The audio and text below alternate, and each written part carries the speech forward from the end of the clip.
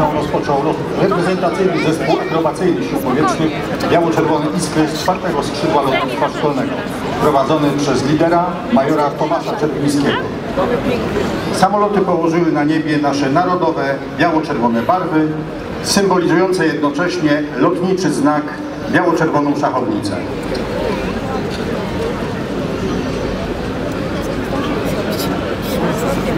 Dobra. Będą jeszcze lecieć? Nie wiem, nie wiem, czy dziecko zakierować. Kochanie, patrz do góry. Do góry, do góry. Schody.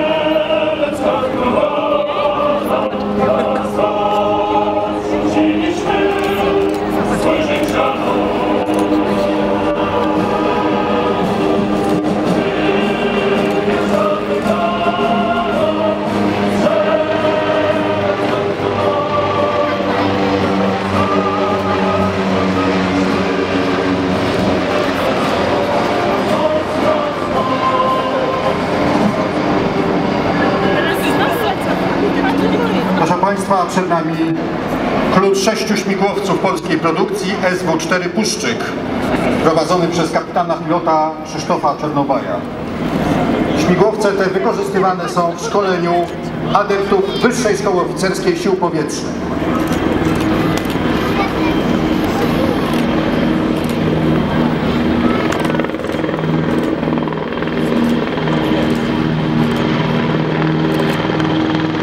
a nad nami śmigłowce WA Sokół z 7 Dywizjonu Lotniczego 25. Brygady Kawalerii Powietrznej z Tomaszowa Mazowieckiego.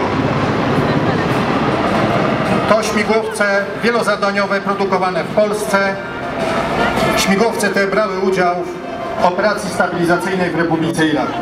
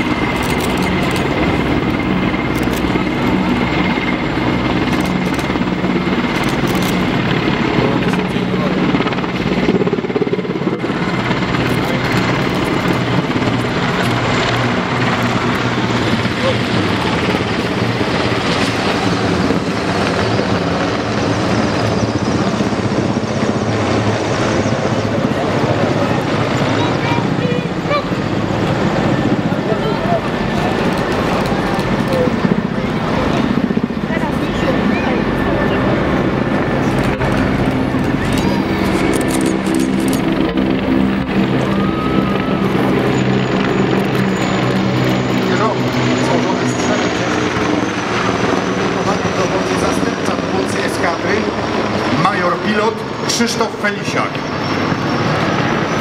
Śmigłowce i piloci pierwszej Brygady Lotnictwa Wojsk Lądowych z Inowrocławia brali czynny udział w polskich kontyngentach wojskowych w Iraku i Afganistanie. A tu dwa śmigłowce UH-60M Black Hawk z 12 Brygady Lotnictwa Wojsk Lądowych Stanów Zjednoczonych.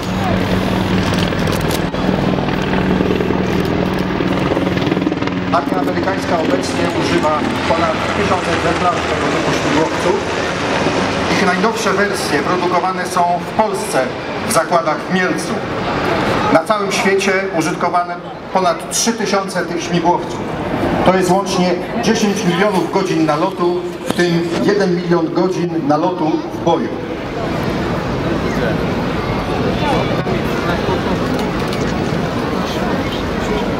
A przed nami samoloty transportowe Mi-28 Bryza z trzeciego skrzydła lotnictwa transportowego.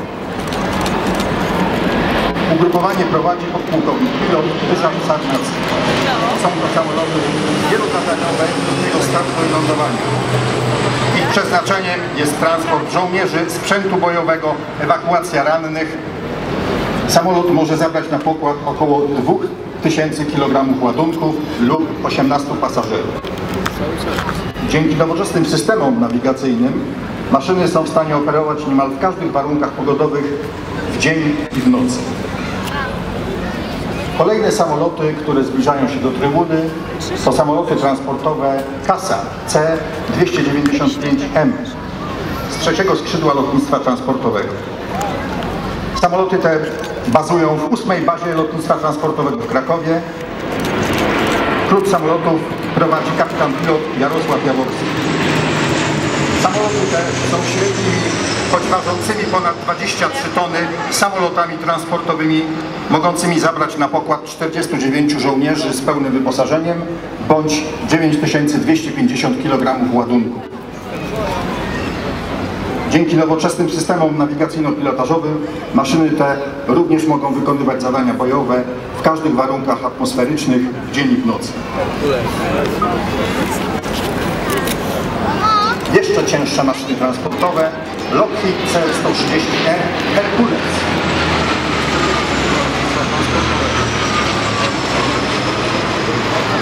Formację prowadzi kapitan pilot Szymon Gajowniczek. Są to średnie czterosilnikowe wojskowe samoloty transportowe o napędzie turbośmigłowym. Na co dzień stacjonują na lotnisku w Powidzu. Ich głównym przeznaczeniem jest transport ładunków, osób, a także rannych na średnich odległościach, co przy zdolności lądowania na nieutwardzonych pasach startowych czyni z tych samolotów uniwersalne maszyny. Zespół akrobacyjny Orlik z czwartego skrzydła lotnictwa szkolnego. Grupa lata na samolotach polskiej konstrukcji PZL-130 Orlik, obecnie w najnowszej wersji TC-2 Garmin.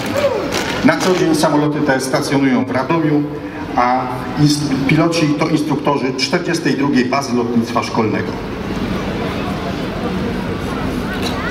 W tym sezonie zespół ten reprezentował nasze siły powietrzne na pokazach zagranicznych w Fireport w Wielkiej Brytanii, w Tallinie w Estonii. Przed tym zespołem jeszcze dwa występy zagraniczne w Atenach i Madrycie. A to samolot myśliwsko-bombowy Su-22M4.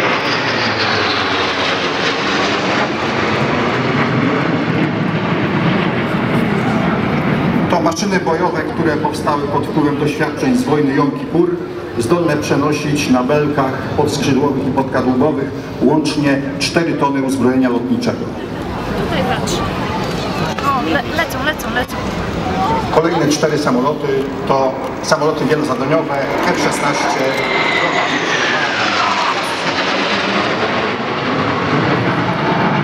najnowocześniejsze maszyny w siłach powietrznych. Polskie siły powietrzne posiadają 48 samolotów tego typu, które zgrupowane są w trzech eskadrach lotnictwa taktycznego. Są to samoloty wielozadaniowe przeznaczone do wykonywania wielorakich misji, zarówno defensywnej, jak i ofensywnej walki z przeciwnikiem.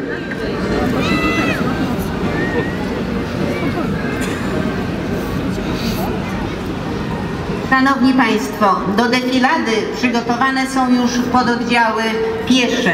To, co Państwo zobaczą za chwilę, to efekt naprawdę ciężkiej pracy żołnierzy.